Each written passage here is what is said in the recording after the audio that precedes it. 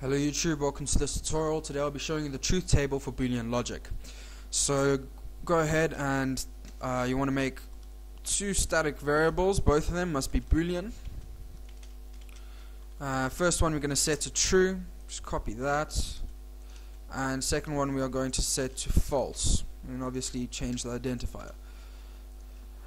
Okay, next thing you want to do is you want to type in your main method, so it will run the program and then inside the main method all you want to do is you want to type in syso control and space. So it gives you the system out print line function. And here we want to go condition and then tab that and then results. Okay basically if you don't know what the uh, backslash ta backslash tab is it's, ba it's basically uh, just to tab it out so it looks a bit neater. Okay so then we want to go ahead and create four more print line statements Okay, first one we want to go is true and true. Make sure you spell it right. And then tab that out as well. And then you want to go and you want to give it the actual condition. So seeming as we want to go say true and true and i is equal to true, go ahead and in the state in the brackets here, print i and i. Okay. So just go ahead, copy that and paste it in the other brackets there.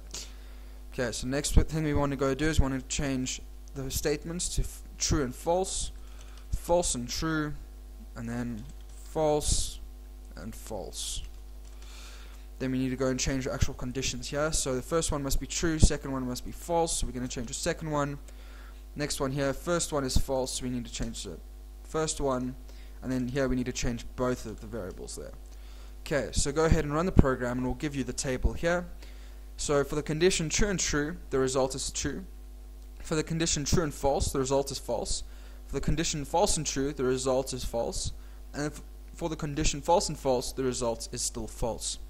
Thank you very much. Have a look at our other tutorials.